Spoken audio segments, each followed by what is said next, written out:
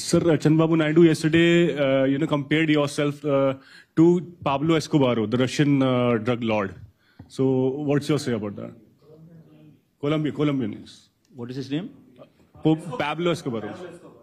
What is it? Pablo Escobar. Huh? Pablo. Pablo Escobar. Pablo, Pablo, sir. P A B L O. So he's more of a Colombian drug lord, sir. Is he Chandrababu's friend? that he knows his name so well. He must be, you know, otherwise I don't know his name itself. And on the other hand, Chandrababu Naidu is repeatedly speaking of a particular person. And also must be.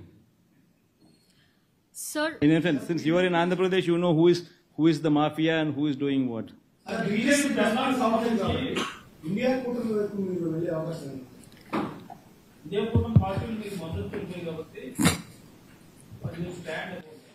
మనం ఒకటే ఒకటి ఈ విషయంలో మీ పేరేం పేరునా? ప్రసన్న ప్రసన్న అదిగా ప్రసన్న. ఒకటి మనం గుర్తుపెట్టుకోవాల్సింది ఏంటంటే ప్రసన్న మనం డెమోక్రసీలో ఉన్నాం.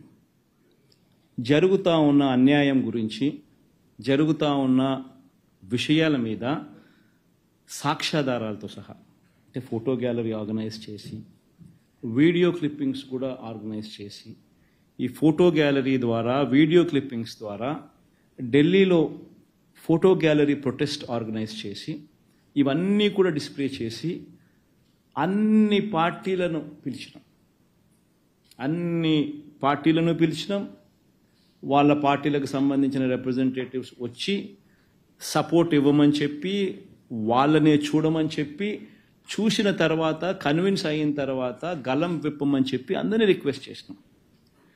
సిమిలర్గా ప్రతి మీడియా హౌస్ను పిలిచినాం వాళ్ళ వాళ్ళ రిప్రజెంటేటివ్స్ని జర్నలిస్టులను పంపించమని చెప్పి రాష్ట్రంలో జరుగుతూ ఉన్న అగత్యాల మీద ఫోటోలు చూడండి మీరే ఫోటోకు వీడియో క్లిప్పింగ్స్ మీరే చూడండి చూసిన తర్వాతనే మీరు న్యాయం వైపున ధర్మం వైపున గలం విప్పండి అని అందరికీ రిక్వెస్ట్ చేసినాం చేసిన తర్వాత కొన్ని పార్టీలు వచ్చాయి నువ్వు చెప్తా ఉన్న మీ నువ్వు చెప్తా ఉన్న ఇండియా కూటమికి సంబంధించిన పార్టీలు మిగతా పార్టీలు వచ్చాయి కాంగ్రెస్ పార్టీ రాలా? కాంగ్రెస్ పార్టీ ఎందుకు రాలేదు అని కాంగ్రెస్ పార్టీని అడగాల? చంద్రబాబు నాయుడుకు వాళ్ళకు ఉన్న సంబంధాలు ఏమిటి అని కాంగ్రెస్ పార్టీని అడగాల? రేవంత్ రెడ్డి ద్వారా చంద్రబాబు నాయుడు ఏ రకంగా కాంగ్రెస్ పార్టీ పెద్దలతో కాంటాక్ట్ మెయింటైన్ చేస్తూ ఉన్నాడని కాంగ్రెస్ పార్టీని అడగాల? రాష్ట్రంలో జరుగుతూ ఉన్న అరాచకాలు కళ్ళ ఎదుటే కనిపిస్తూ ఉంటే మణిపూర్లో ఏమో ధ్వజమెత్తుతాడు. ఆంధ్ర రాష్ట్రంలో అటువంటి కార్యక్రమం అటువంటి గొడవలు ఇక్కడ జరుగుతూ ఉన్నప్పుడు అంత దారుణంగా అగత్యాలు జరుగుతూ ఉన్నప్పుడు ఎందుకు మరి వచ్చి మద్దతు ఇవ్వడం లేదు? అడగాల కదా. అంటే వాళ్ళకు అనుకూలమైన రాష్ట్రంలో ఏదైనా గొడవలు జరిగినా అడగ అడక్కపోవడం ధర్మమేనా? వాళ్ళకు వ్యతిరేకంగా ఉన్న రాష్ట్రాల్లో మాత్రమే గొడవలు జరిగితే అక్కడ మాత్రమే ప్రశ్నించడం న్యాయమేనా? నా వరకు నేనైతే చెప్తా ఉన్నా. ఎవరైతే వచ్చి మనకు మద్దతు ఇస్తారు ఎవరైతే రాష్ట్రంలో జరుగుతూ ఉన్న అన్యాయాల మీద తోడుగా ఉంటారు ఖచ్చితంగా వాళ్ళందరితో కలిసి ఖచ్చితంగా పోరాటం చేసే కార్యక్రమంలో అడుగులు ముందుకు వేసే కార్యక్రమంలో జరుగుతాయి. బీజేపీని పిలిచాము కాంగ్రెస్ను పిలిచాము సమాజ్వాదీ పార్టీని పిలిచాము మా మన మమతా బెనర్జీ గారిని పిలిచాము. అన్ని పార్టీలను పిలిచినాం. వచ్చిన వాళ్ళందరితో కలుపుకొని వచ్చిన వాళ్ళందరితో కలిసి పోరాటం చేసే విధంగా అడుగులు వేస్తాం. ఎందుకు వేయకుండా ఎందుకు వేయకుండా ఉంటాం? అల్టిమేట్గా న్యాయం జరగాలి అల్టిమేట్గా ధర్మం జరగాల. మన వాళ్ళకి ఇటువంటి కార్యక్రమాలు ఏదైనా మన వాళ్ళ మీద జరగాలి అని అంటే అది వాయిస్ పైకి లేయాల.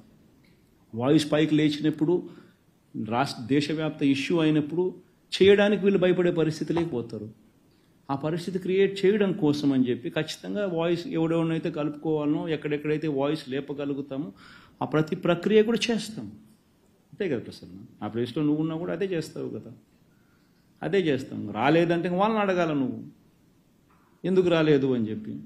చంద్రబాబు నాయుడు మీద ఎందుకు అంత వ్యామోహం అని. చంద్రబాబు నాయుడుతో ఎందుకు అంత సంబంధాలు మెయింటైన్ చేస్తున్నారు అని. నువ్వు వాళ్ళని అడగాల. సార్ పొలిటికల్ దాడులు అనేవి మీకు కొత్త ఏం కాదు సార్. పొలిటికల్ దాడులు అనేవి మీకు కొత్త ఏం కాదు. మీ ఫ్యామిలీ మీద కూడా దాడులు జరిగినాయి. కానీ మీ ఫ్యామిలీ మెంబర్స్ నుంచే కొంతమంది బయటకు వెళ్ళి మీ మీద పొలిటికల్ ఎలిగేషన్స్ కానీ ఇతరత్ర ఆరోపణలు కానీ చేస్తున్నటువంటి సిచ్యువేషన్ దీన్ని మీరు ఎలా ఓవర్కమ్ చేయగలుగుతారు? ఈ టాపిక్ మనమే డైవర్ట్ చేయడం ఎందుకు అసలు జరిగేది ఏంది నేను చెప్పి రాష్ట్రంలో యాభై రోజుల నుంచి మీరు అంతా చూస్తూనే ఉండరు ఏం జరుగుతూ ఉందో మన కళ్ళ ఎదుటే కనిపిస్తూ ఉంది. యాభై రోజులు నిజంగా ఈ మాదిరిగా కార్పొరేటర్ను మొన్న ఏమైనా చూస్తూ ఉన్నాను. ఇక్కడ న్యూస్ వీడ్ కార్పొరేటర్ను. యూట్యూబ్లో సోషల్ మీడియాలో కనిపిస్తూ ఉంది. ఆ పిల్లడు పరిగెత్తాడు. ఆ కౌన్సిలర్ పరిగెత్తాడు. వెనక కత్తి తీసుకుని పొడిచేదానికి ఇంకొకటి పరిగెత్తాను మన ర- రషీద్ అనే మన వెనుకొండలో పిల్లోని ఏకంగా కత్తి తీసుకొని సోషల్ మీడియాలో కనిపిస్తుంది వీడియో క్లిప్పింగ్. దారుణంగా నరుకుతూ ఉన్నారు. ఎక్కడ చూసినా ఈ రెడ్ బుక్ పేరుతో హోర్డింగ్స్ ఎక్కడ చూసినా లొకేషన్ అనే వ్యక్తి ఎక్కడ చూసినా పెట్టున్నాడు. మన కన్న ముందునే కనిపిస్తూ ఉంది. నేను వినుకొండలో మన ఏఎంసీ చైర్మన్ కారులో వస్తూ ఉంటే కారు ఆపి ఏ రకంగా కాళ్ళు చేతులు రెండు కూడా ఎరగొట్టి సర్జరీ జరుగుతూ ఉంది పరిస్థితి.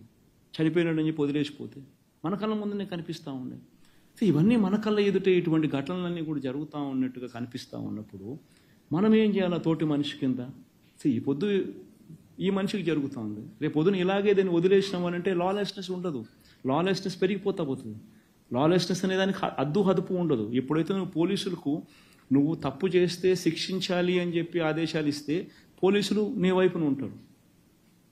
పోలీసులు తప్పు చేసినా కానీ అటువైపు వ్యక్తి మీద నేను కేసులు పెట్టాలి నువ్వు చూసేసి ఉన్నట్టు పోవాలి అని చెప్పి ఆదేశాలు ఇస్తే నీకు రేపొద్దున ఇక్కడ మొదలైన ఇన్సిడెంటు ఇక్కడికి వచ్చేసరికి వేరే కలర్ తీసుకుంటుంది.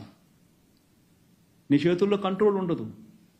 ఇంకా ఎవడెవడు వాళ్ళ వాళ్ళ లెవెల్లో పర్సనల్ స్కోర్ సెటిల్ చేసుకుంటూ ఉంటాడు. వాళ్ళకు వాళ్ళకు లోకల్ లీడర్స్కు ఉన్న కనెక్షన్స్ మనసులో పెట్టుకుని. లాలెస్ లా లాలెస్ అసలు లా అనేది ఉండదు. మనం ఇటువంటి కార్యక్రమాలు జరిగినప్పుడు ఖండించే కార్యక్రమం మనం జరగ చేయించాలి మనం చేయని చే- చేసే కార్యక్రమం మన కళ్ళ ఎదుటే కనిపిస్తూ ఉన్నప్పుడు మనమే ఈ టాపిక్లో నుంచి డైవర్ట్ అయిపోయి రకరకాల టాపిక్లకి మనమే పోయి దీన్ని తీసుకొని పోతే ఏం సాధిస్తాం మనం Sir, I have two questions for you. Al-